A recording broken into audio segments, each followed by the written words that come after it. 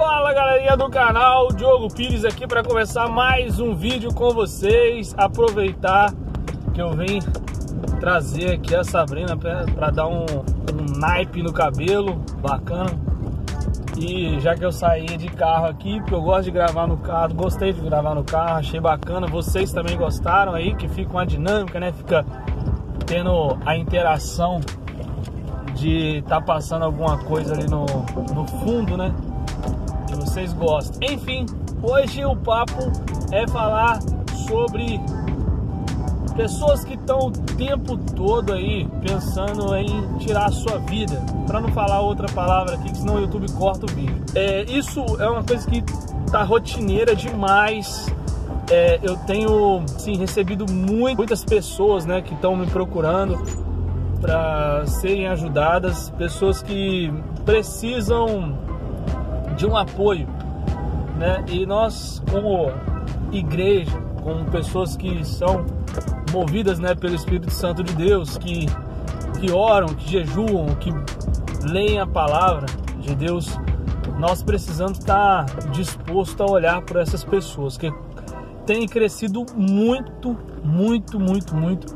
Pessoas que estão precisando desse tipo de ajuda. É algo que está assim muito gritante.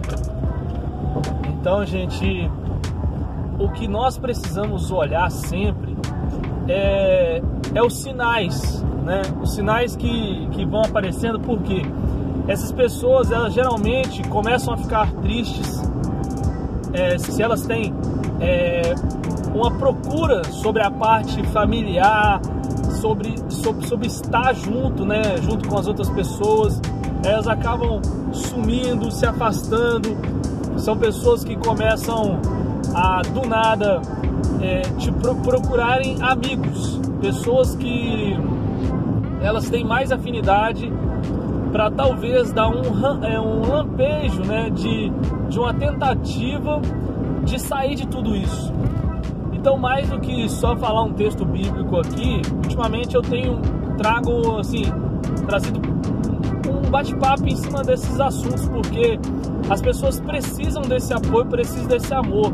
E nós, como cristão, como pessoa que mostra Cristo, como pessoas que é, têm a luz de Deus em nós, nós precisamos estar em alerta para esses sinais. Porque nós sabemos que é, as igrejas, em sua maioria, não falam muito desse assunto, é um tabu, é, ou talvez às vezes nem sabe muito falar sobre o assunto, ou não querem tocar nesse ponto, mas é algo que está acontecendo demais, demais, demais.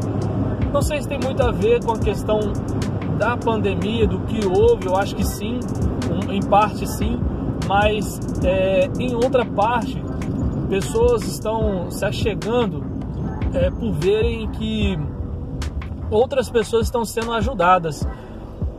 E tem uma, uma questão que eu acho que é boa para se abordar, é que se você é uma dessas pessoas que está passando por um momento difícil, seja ela uma crise financeira, é, algo sentimental, né, com o seu esposo, com o seu marido, com o seu namorado, com o seu, seu pai, sua mãe, você perdeu um ente querido, tudo isso pode desencadear primeiro essa tristeza, né?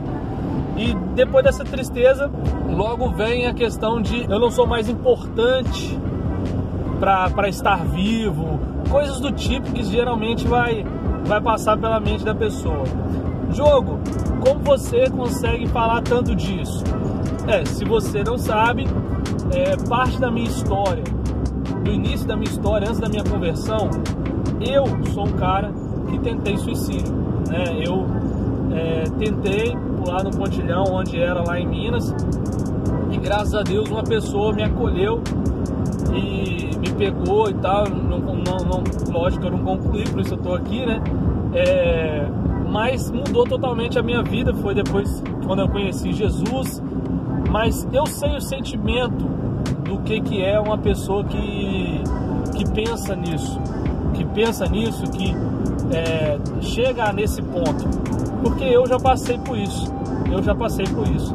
Eu tenho essa experiência. Sobre a questão da própria depressão, de pessoas depressivas.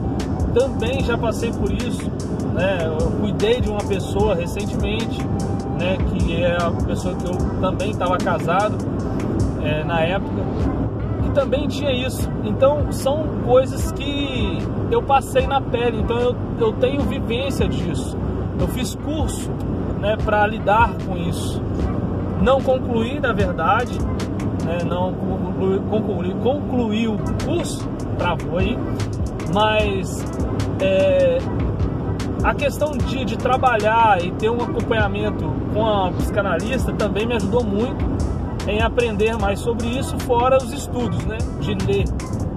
E você vai pegar a Bíblia também, você vai ver o tempo todo que a Bíblia vai mostrar sobre isso. E como eu falei no último vídeo, é, eu ia citar um pouco nesse vídeo, no próximo vídeo que eu fizesse, que era sobre Efraim e Manassés, que é de José. Efraim significa Deus me fez prosperar. Que nesse sentido, José estava querendo colocar algo para ele pontuar que agora eu sou governador e mesmo com todas as palavras negativas que eu recebi, é, eu agora cheguei numa posição onde é, eu, eu estou bem de vida, né? Eu, eu alcancei, eu venci na vida, mesmo os meus irmãos tendo falado palavras negativas ou tentado me matar ali naquele, naquela questão de ter jogado ele no poço, de falar que ele estava morto e tal. E tem a outra parte que é o Manassés, Manassés também é o nome do filho dele que ele coloca também para justificar algo, que é Manassés significa Deus me fez esquecer. Ou seja, Deus fez ele esquecer, né, o que ele estava querendo colocar é que Deus fez ele esquecer de todos os momentos em que ele passou de dificuldade, né, com os irmãos, com, com os irmãos dele e daquela vida que ele levava. Você consegue entender que esses momentos de José eram momentos que ele estava passando de muita dificuldade e que ele precisava de alguém até para trabalhar isso nele para que ele pudesse vencer isso, porque ele estava justificando as dificuldades sentimentais dele nos filhos ainda, colocando o nome dos filhos, porque o judeu ele tem muito isso. Então quando ele coloca o nome dos filhos dele de Manassés e Efraim, ele quer justificar algo e não quer dizer que mesmo com as palavras que ele usou de Deus ali, ele colocou o nome de Deus ali naquele momento, mas não no subconsciente dele não era uma verdade. E na nossa vida a gente vai trabalhar muito com isso. Esse subconsciente que a gente acha que está falando uma verdade, mas na verdade, na, na verdade, né? na, na questão a gente está falando uma mentira para nós mesmos. Isso parte do princípio em que você pode cair sim nesse momento que a gente estava começando o vídeo falando sobre depressão e suicídio, né? Que é uma palavra que eu não sei se vai ser cortada depois, mas enfim, vamos falar assim mesmo. Fechando o vídeo, a conclusão de tudo isso que a gente quis aqui bater um papo com vocês. É, você precisa entender que não importa o que você tem passado ou vivido, você não pode justificar no outro. E você também não pode é, se culpar das coisas que você tem vivido. Porque vão acontecer, as coisas vão acontecer, as dificuldades vão existir e você só vai conseguir vencer se você não se limitar a passar por elas. Você precisa passar por elas. São etapas, são coisas que se você pegar para vencer, aquilo ali vai automaticamente acabar. Por que, que vai acabar? Porque você venceu aquilo. Ah, Diogo, eu fui derrotado na primeira, na segunda, na terceira. Tente de novo. Faça de novo. Os maiores empreendedores, os maiores as, as pessoas que mais venceram na vida, elas, elas simplesmente tiveram várias derrotas iniciais. Elas é, passaram por inúmeras vezes tentando e não vencendo. Então você só precisa persistir. beleza?